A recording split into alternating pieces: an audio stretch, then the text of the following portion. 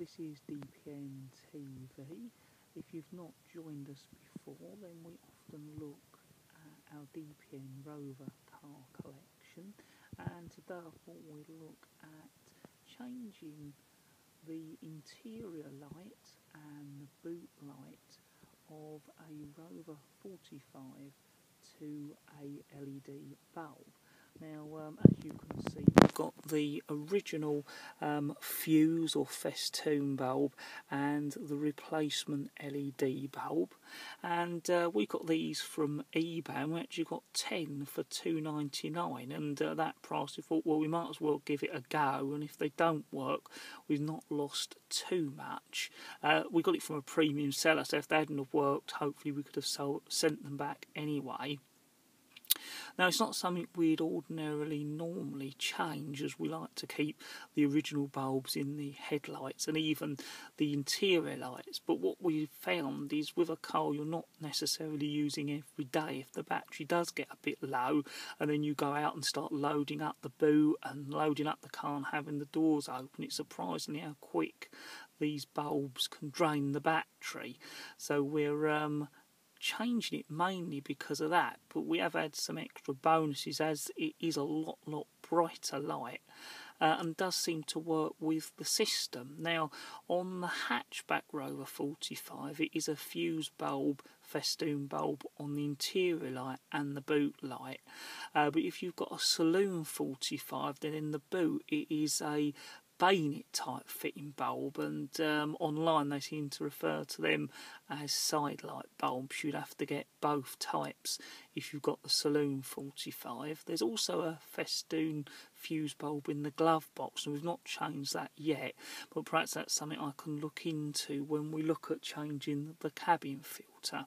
So if I take you up to the interior light, and we've got the um, cover off of it at the moment, you can see the new LED bulb fits in just as the original bulb would have done.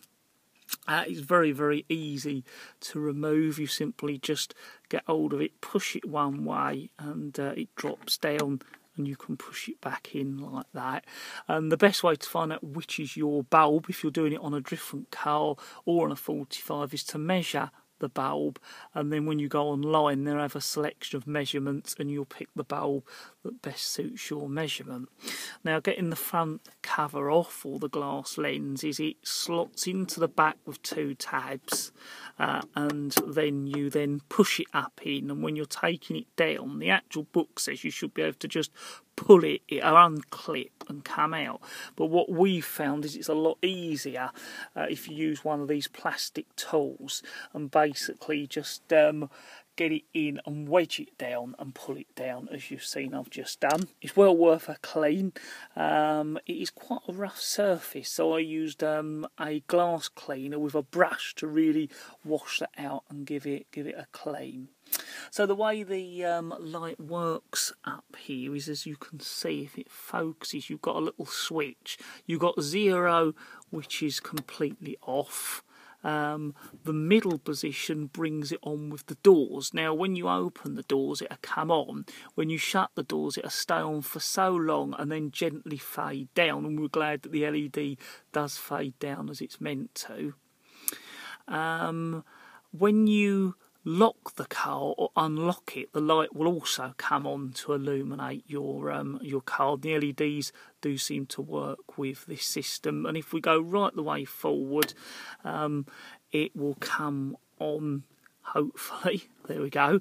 Um, obviously, if you're not using the switches a lot, as you see there, it will um, flicker about a bit to the contacts are just right. And as you can see, it's a lovely um, bright white light. And once you put the diffuser cover on, um, it then diffuses the light nice and clearly uh, like that. And uh, as I said, it drops down like that um, and then you push the tabs back in to do it. And as you can see, the bulb comes out very, very easily as it's just fell out there and there are the um, the contacts. But it doesn't fall out once you're going along. It appears to stay in, and uh, we've been using it for a week. They seem to come on and haven't um, blown either.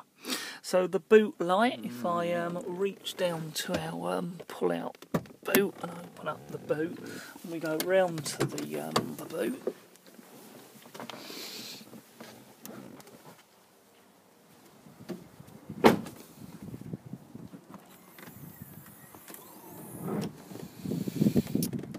and your boot light is right down here.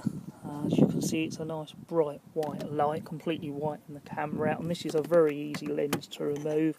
It just comes off like that and uh, the bulb pulls out, you change it and uh, you can put it straight back.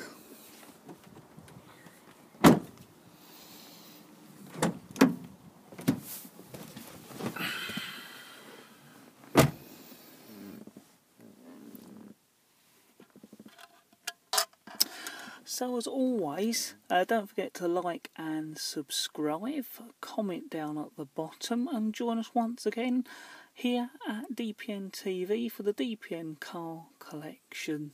Thank you very much for watching.